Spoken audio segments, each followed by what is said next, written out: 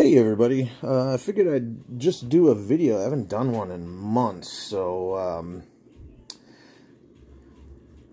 I'm working part-time at a record store, so I get pretty sweet deals on CDs, so I bought 23 CDs. Technically 22, because I bought one as a gift for a friend.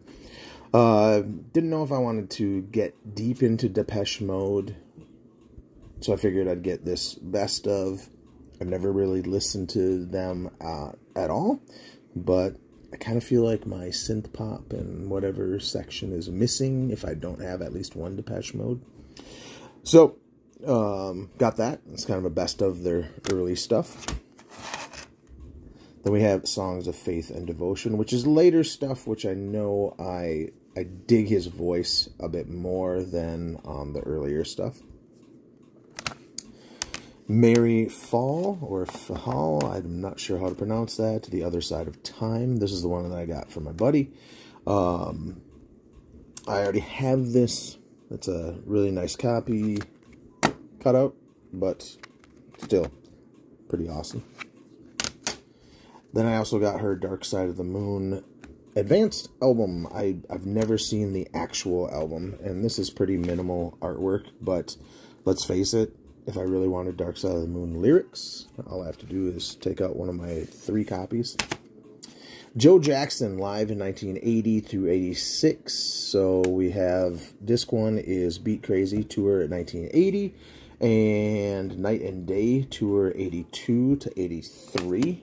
So these were uh, kind of listed as new interpretations of 22 classic songs featuring four different bands. Here's disc two, Body and Soul, Tour 84, and Big World, Tour 86. Same cover. Uh, Laughter and Lust, I believe. Uh, I was told this is the first kind of pop album that he did for Virgin Records. So I have like his er first five or six albums. I Love You. Um, this was a weird little alt indie rock band that were big in the 90s. Well, not big, um, around in the 90s. I have their other two albums. There's one with like a little kid who has angel wings on the cover. That one is the, the best one of all of them. This is a live EP.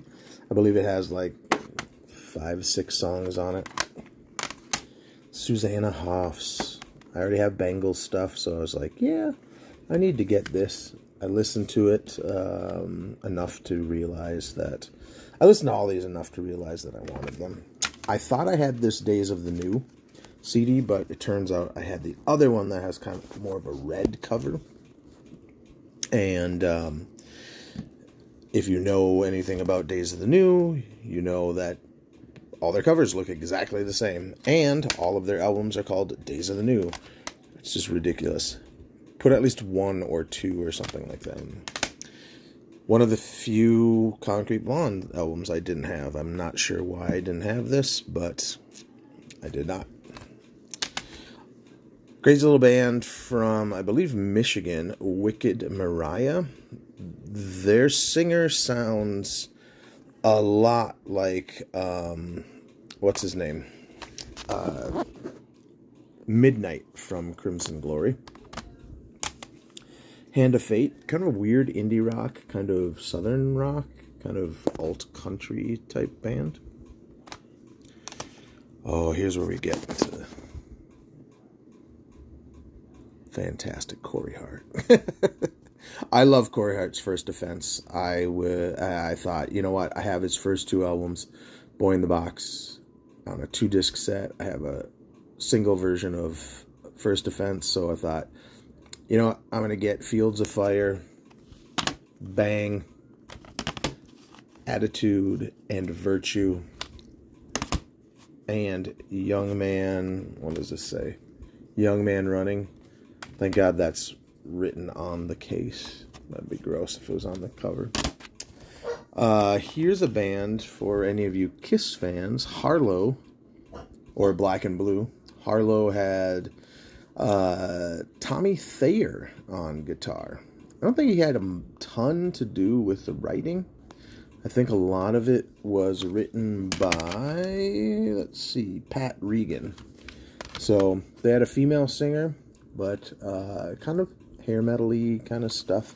I think this came out in 1990, yes. So and then we have Hooters, which was funny because I was talking to a friend the day before this came in, and I grabbed Nervous Night, which has uh, And We Danced, and then Zigzag.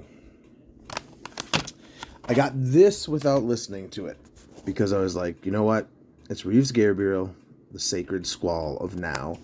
And let's look at the artists that sing on this album. We'll talk about that later. All right. So Reeves, Gabrels, uh, look, Jeffrey Gaines on lead vocals. Um, let's see here. Who else was on? David Bowie on lead vocals on a song called The King of Stamford Hill.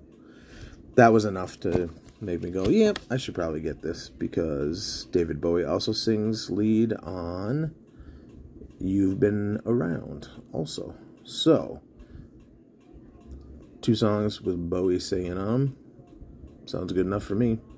Frank Black sings lead vocals? That's crazy. Any other songs with wacky singers on? Let's see here. I don't see anybody else that stands out. Gary Oldman running commentary. All right, let's talk about Goodbye Harry Food Stamp Barbecue. This is Scott Reynolds' project from after he left All.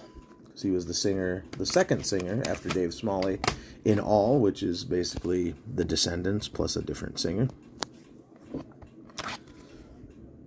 Oh, you got Scott Reynolds, uh, Mike the Pike on bass, Artie on guitar, and T. Dallas Reed. I think this guy went on to play drums in no one of these guys was in wretch like me with the drummer from my name and last but not least frente with the creepiest goddamn cover ever jesus christ that's creepy yeah. I'm gonna just leave it at that. That is creepy